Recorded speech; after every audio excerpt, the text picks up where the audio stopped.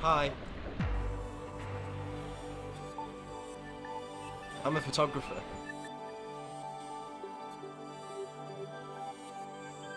Is there a problem? Um, I, I forgot my wallet. I once read an article about a girl who was obsessed with a thriller writer. She went to every signing he did for one book he wrote a couple of years ago, and she felt like she knew him. One day, she smiled too much, and he got a court order on her. Nobody remembers the book. Just her.